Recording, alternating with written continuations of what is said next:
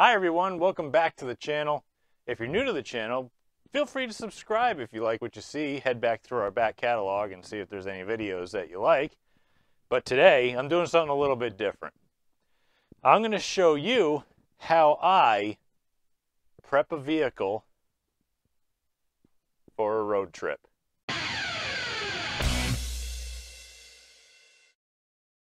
This disgusting beast is my 2017 Jeep Cherokee Limited. It's got all the bells and whistles. It, it's one of those where you might as well have bought the Grand Cherokee because of how much stuff is in here. It's got the nice Uconnect system. It's got all the bells and whistles, like I said, heated seats, leather seats, super nice everything. Again, it's basically a Grand Cherokee, but not a Grand Cherokee. Um, the only reason I did that was because I saved a whole ton of money by getting a regular one instead of the Cherokee. Okay, so what we're doing is we are going to get this thing prepared for a road trip. Now, my wife and I are going on a little bit of a, uh, I'd call it a honeymoon. We've been together 10 years, so we'll just call it a 10 year thing. We never got a honeymoon. Not really a big deal, but we're going to road trip 12 hours to North Carolina from Connecticut, and we are going to enjoy a little bit warmer weather, I guess, and basically redo a trip that we did 10 years ago that we only got to spend like two days in North Carolina. So we're going to spend essentially five and uh, enjoy the sights, probably hit up a bunch of NASCAR stuff because racer things. Do a lot of antiquing, maybe visit friends and family and stuff. And uh, that instead of flying down there, we said, well, why don't we just drive? It's going to take a few hours longer, but we don't have to pay for plane tickets and wait to go through and have all the COVID protocols and all this other stuff that goes on at airports and other nonsense. So we said, and we don't have to rent a car when we get down there, we're going to have one with us. So, when it comes to a road trip, you got to make sure that your car is as prepared as possible. And what I'm going to do is I'm going to show you how I prepare for road trips, even though I don't really take that many. So here's how we do it. So what I do is, there we go. I don't want to scratch nothing. Don't mind the uh, weird sound coming from over there if you can hear it. That heater makes all sorts of weird horror movie noises. Is I go in and I pick out the owner's manual. And I go in and I figure out the maintenance schedules and stuff. And I look for, you know, stuff like capacities and all sorts of stuff. But I think this is like your scheduled maintenance and such. Uh, air cleaners and cabin filters and spark plugs and stuff. God dang, this thing says replace the spark plugs at 100,000 miles. Jesus, that ain't happening. So you go through here and you do all your inspection stuff and you figure out you know what you need. Like this car has approximately 52,000 miles on it. And so I'm going to look here and say all right in the next 1500 miles what do I need? And it says between 40 and 60 inspect the CV joints. Okay I'll take a look at that since it's in the air inspect the front suspension inspect brake linings which I'll probably do because I'm going to have to I'm to take the wheels off since it's in the air and I'm going to rotate the tires. I typically rotate the tires every oil change anyway just to keep them rotated. Uh, I know you probably don't have to, but I do anyway because I do all my own work and I don't care. Um, so air cleaner for the engine needs to be done at 60,000. I'm at 52. We're probably going to put 1,500 miles on the car, so we're not going to bother. Um, nothing else looks like it really needs to be done, so I think what we'll do is just my normal checklist. Now that checklist consists of obviously the normal stuff. Like I said, I'm going to change the oil because it needs it. These cars are kind of funny because they have an oil life percentage that you look up on the dashboard. Okay, so apparently I lied because this thing has 56,000 miles on it. So I'll go through and show you vehicle info. It's got coolant and transmission and oil temps and all that. Uh, the oil life gauge. Okay, it's not reading because the car's not running. So what that oil life gauge does is it tells you what the oil life is in in a percentage. And mine is currently at like single digits. I think it's like 7 or 8%. So when you're going to, on a big road trip, you got to take into account how many miles you're actually going to put on the vehicle. So if you're going to put 1500 on it and you're going to go over your mileage for your oil change or something, you might want to change it ahead of time. This thing is very due for an oil change. So I'm going to do it ahead of time. We won't have to worry about it. I'll double check that and we'll we'll be fine on the whole oil thing. Now obviously when you're under the hood doing an oil change, you also want to check all your other fluids just to be safe. I mean, you can see all the salt and garbage all over the car from the recent storm we got and I haven't been able to wash it yet because it was only a couple days ago and the roads are still kind of gross. Um, but obviously, check your windshield washer fluid. That seems to be actually quite good. Uh, check fluid levels for your, let's see, coolant. Bottom line is cold. Looks like it's there. That's good. Brake fluid. Obviously, this is a newer car, so there better not be any damn problems with the brake fluid, but that level from the outside looks pretty good. I'll probably pop the lid off the air cleaner, make sure that's good. They've only, this car has only ever given us one problem. It's a, obviously I told you before it's a 2017. It's got the 3.2 V6. Um, this is this is it.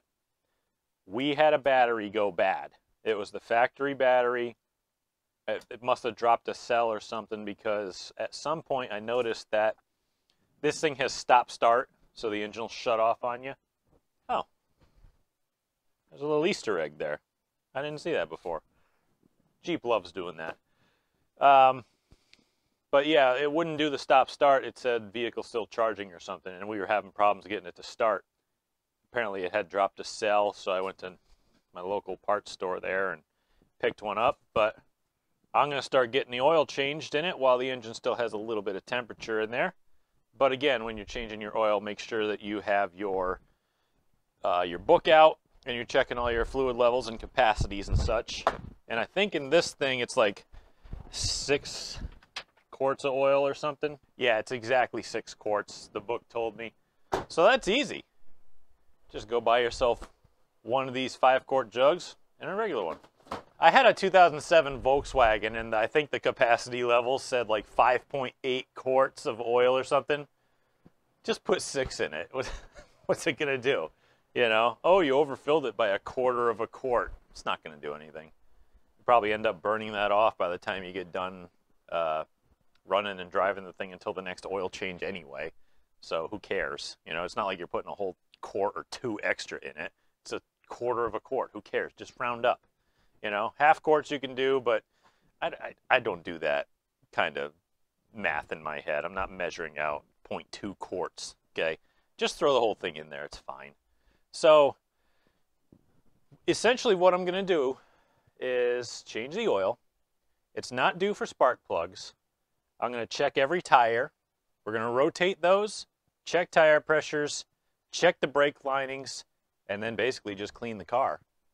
Now, the oil filter on these Chrysler, Jeep, whatever you want to call them, V6s, is a canister filter, and it's accessible through this little, you know, port here that you just kind of crack sideways, take it off, and it's down here. Now, you'll notice that I wrote in silver marker the size of the hex or socket or whatever that takes this canister off.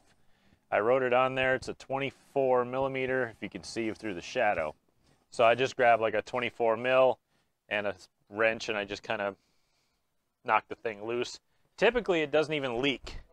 Uh, but when you get one of these canister oil filters, it has like an O-ring that goes in the canister and all sorts of stuff. So always replace that when you get it. Now obviously I'm not the biggest fan of canister type filters because, you know, for what you buy, they uh, are incredibly expensive for what you get. So, see, I even bought the, the factory part. Um, yeah, get out of there. So here's your O-ring that goes on your canister. Here's your canister filter. And obviously it'll only go in one way, you know. And the canister itself, or the filter itself has an O-ring on it. And uh, doesn't look like it needs one down here. I can't tell, but whatever. So, like I said, if it comes with it, use it.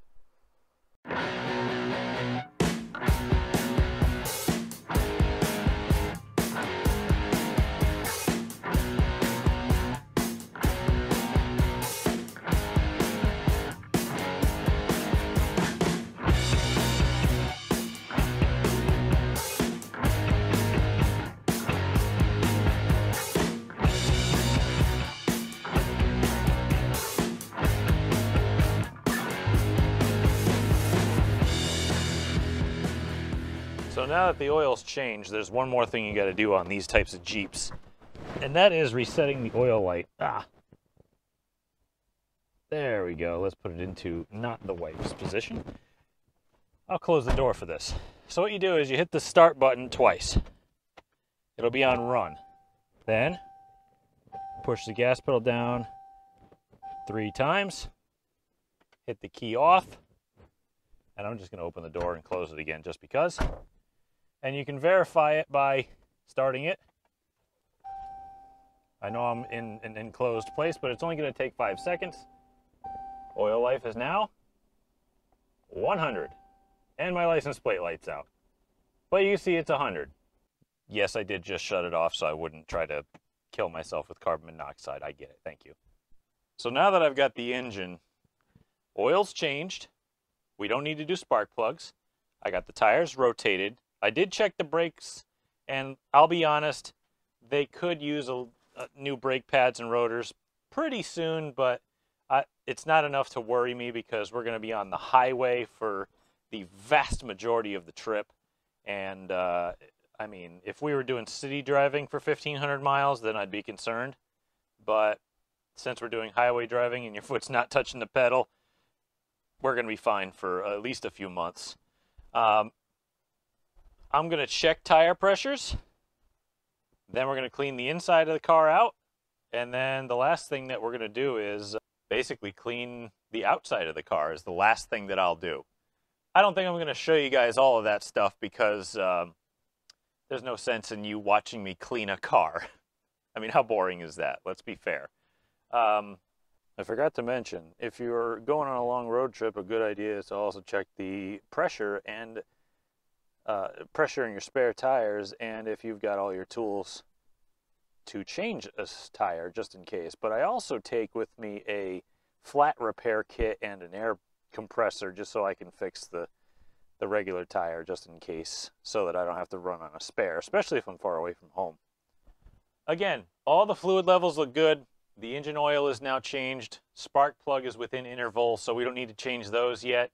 Air filter looks good. That's within intervals tires are rotated, pressures are going to be set, and I got to tell you one thing. There's something really distracting about this car right now. Every time I go to the driver's side of it, it smells like dog poop. I think wherever my wife went today, she ran over a fresh dog turd and it sprayed under the car because it smells like dog poop down the whole left side of this car. if you live in an area where there is this much salt and garbage because of all the stupid snow and garbage and ice on the road, take it to a car wash regularly that does the underbody wash. And take your time when you drive through because it goes as long as you're driving over it. So just kind of crawl in. Don't just shoot over it crawl in, let it work the water in there. And if you have a pressure washer, I have one, get something that sprays up underneath the body. Like I have one of these water broom and undercarriage cleaners that I can take and roll it under the car and spray the underside of the car. Getting everything out from underneath the car is going to stop a lot of corrosion and it's going to stop a lot of headaches. Especially with like brakes and backing plates and calipers and lines and all sorts of stuff. They do a really good job for cars nowadays to rust proof them. Like the way cars have been refined over the last 20 years is fantastic. But you still got to do it because you just can't leave anything to chance. So that's probably going to do it for this video because I'm sure you don't want to sit here and watch me get hit by uh, falling brooms. Actually, no, that would be kind of funny. But I don't think you want to sit here and watch me vacuum out and clean garbage out of a, a Jeep. Um, this is just how I prepare a car for a road trip. And one of the last things that I do is clean it out. Now, why I clean a car out is number one, it's just a genuinely nice place to be if it's nice and clean. If you got discarded tissues and cups and you know just clutter and crap in your car, it just doesn't feel good. You know, you want to be if you're going to be in a car for a long period of time, you want to be able to have that be kind of a sanctuary for you. You know, so and especially if you're going to go south and do antiquing and all sorts of stuff like I am, you want a nice clean area that you can put a bunch of stuff that your wife is going to buy. So, again, to sum it up, always make sure everything is maintained on your car. Number one, it's going to last longer, and number two, you're going to have a lot less problems.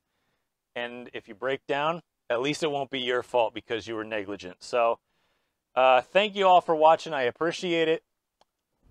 Like, comment, subscribe. Please subscribe. And if you like what you see, please share it with your friends. I do appreciate it greatly. I am really trying to get you some better stuff than this, but hopefully this will help you out because I know it's going to help me out in the long run. So thank you all. I appreciate it.